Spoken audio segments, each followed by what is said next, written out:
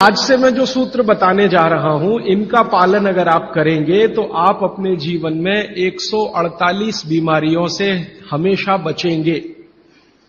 और बागवती जी का यह कहना है कि बीमारियों से बचना बहुत महत्व का है, बनस्बत की बीमारियों का इलाज करना। Prevention is better than cure आज के सूत्रों को थोड़ा ज़्यादा ध्यान से सुने। तो आज से जो शुरू हो रहा है, वो फंक्शनल पार्ट है। इस फंक्शनल पार्ट में सबसे पहला सूत्र, बागवती जी का। वो कई बार ये लिखते हैं अपने सूत्रों में कि खाना महत्व का नहीं है, खाने को पचाना महत्व का है। क्योंकि भोजन पचेगा तो रस बनेगा, उसी रस में से मांस, मज्जा, रक्त, मल, मूत्र, वीर, मेद, ये सब बनेगा, अस्थियाँ बनेंगी, और वही आपके शरीर के लिए आगे जीवन में काम आएँगे। पहला सूत्र भोजनांते विषमवारी। इसका सीधा सा अर्थ है, भोजन के अंत में पानी पीना विष पीने के बराबर है। सूत्र ये है, भोजन अंते, माने भोजन के अंत में, भोजनांते विषमवारी विष, समझते हैं आप जहर जहर जैसा, क्या है? पानी। सूत्र उतना ही है, समझने के लिए मैं आपको बहुत उदाहरण दूँगा ताकि आप जल्दी पता कर पाए। बागवट जी ने एक सूत्र में यह कहा है कि हमारा जो शरीर है, इसका जो मुख्य स्थान पेट है, इसमें एक स्थान होता है पेट के अंदर, नाभि लेफ़्ट साइड में, नाभि से थोड़ा ऊपर, जहाँ मेरा हाथ रखा हुआ है, इस स्थान को कहते हैं जठर। संस्कृत में कहते हैं जठर, हिंदी में कहते हैं आमाशय। अंग्रेज़ी में चाहे तो एपीगेस्ट्रिकम बागवती जी कहते हैं कि इसमें अग्नि प्रदीप्त होती है। जठर अग्नि जठराग्नि और भोजन जो कुछ भी आप करते हैं, वो पहले जठर में ही जाता है। यह है महत्व की बात। आपने रोटी का पहला टुकड़ा मुँह में डाला, और जैसे ही टुकड़े को चबाना शुरू किया, लार बनना शुरू हुआ, तुरंत अग्नि प्रदीप्त हो जाती। पहले ही टुकड़े में। तो ये अग्नि प्रदीप्त हुई। अब आप जो भोजन कर रहे हैं, ये इस अग्नि के प्रभाव में पचेगा। तो भोजन के पचने की क्रिया में पहले भोजन रस में बदलेगा। पहले पेस्ट बनेगा, जैसे टूथपेस्ट की कंडीशन होती है वैसा बनेगा, लुगदी जैसा, फिर उसमें से रस बनेगा, फिर रस में से सब कुछ बनेगा। अब ये अग्नि भोजन को पचा रही है और आपने भोजन पूरा करते ही पानी पी लिया गट गट गट गट गट गट तो क्या हुआ? अग्नि शांत हो जाएगी। अग्नि का पानी से मेल नहीं है, दुश्मनी है। तो आपके पेट में खाना खाते ही अग्नि जल रही है। अब आपने पीछे से गिलास, दो गिलास पानी पी लिया। कोई कोई लोग तो लोटा भर के पी लेते हैं। कई कई लोग तो भोजन से ज़्यादा पानी पी लेते हैं। तो फिर बागवट जी कहते हैं, भोजन पचेगा नहीं, वो सड़ेगा।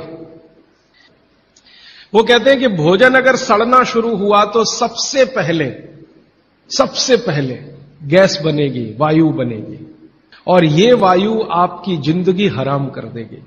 और ये वायु की तीव्रता जब बढ़ेगी तो गले में जलन होगी, छाती में जलन होगी, पेट में जलन होगी। तो ये वायु पूरे शरीर में घूमेगी तो सिर घूमेगा, आपको चक्कर आएँगे, सिर में दर्द होगा, पीठ में भी दर्द हो सकता है, हृदय स्थान पे भयंकर दर्द हो सकता है। कई बार तो इतना दर्द होता है कि आपको लगेगा कि हार्ट अटैक आ गया, लेकिन वो वायु का दर्द है, हार्ट अटैक नहीं। और ये जो वायु बनी भोजन के सड़ने से, इसी वायु में से बागवट जी ने सूची बनाई है कि 103 रोग पैदा होंगे। 103 सबसे पहला रोग है उसमें एसिडिटी, हाइपर एसिडिटी।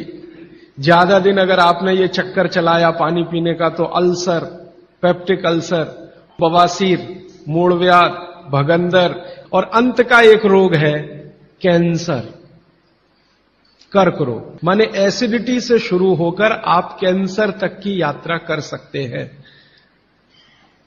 और बाद में बागभट्टी जी कहते हैं, वो भी बता देता हूँ, वो दूर का सूत्र है, लेकिन यहीं पे ले आता हूँ उसको, कि आपका जो भोजन सड़ेगा, तभी कोलेस्ट्रॉल बनेगा।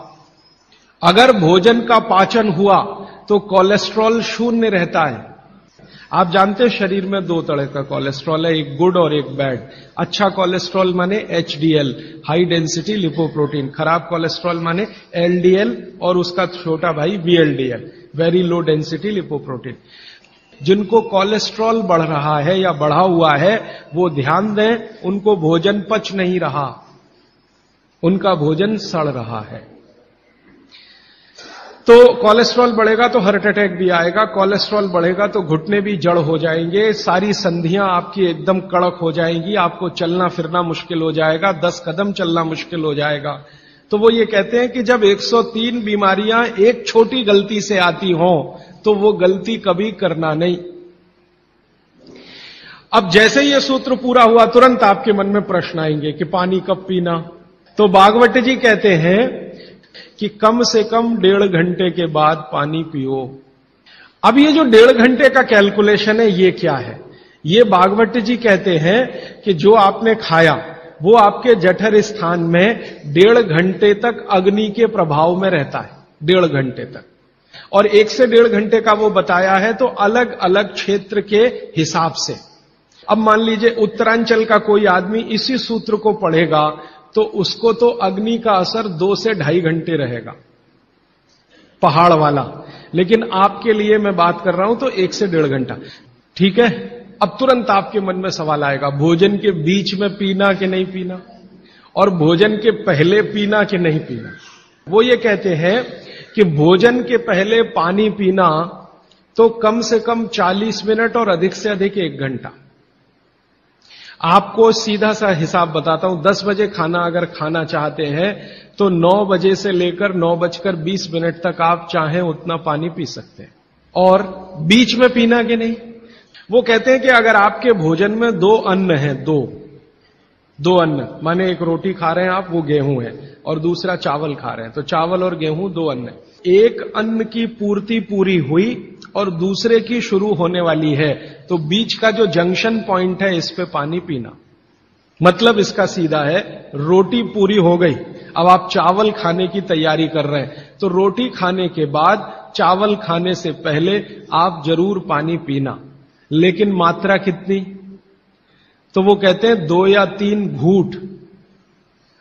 इतना ही। उसके बाद जब दूसरा अन्न आपने शुरू कर दिया, फिर नहीं। फिर तो पूरा आप भोजन ही करके उठिए। अब आप भोजन कर लिया तो गला साफ़ करने के लिए थोड़ा एक दो घूट और पी लेना, गला साफ़ करने के लिए। अब आपके मन में तुरंत एक प्रश्न आएगा कि भोजन के अंत में क्या पीना फिर? पानी तो नहीं पीना, डेढ़ घंटे तक तो नहीं पीना तो कुछ पी सकते हैं। तो बागवती जी ने तीन चीज़ें बताई। हैं उसके लिए पूरा सूत्र लिखा है कि भोजन के अंत में सबसे अच्छी चीज़ जो पीने के लिए है, वो है छाछ। वो है मट्ठा, दही का तक्रम। लस्सी पीने के लिए नहीं कह रहे। मक्खन रह गया तो वो लस्सी। तक्रम की बात है। दूसरी सबसे अच्छी चीज़ उन्होंने बताई है, वो है दूध। और तीसरी सबसे अच्छी चीज़ बताई है, फल का रस।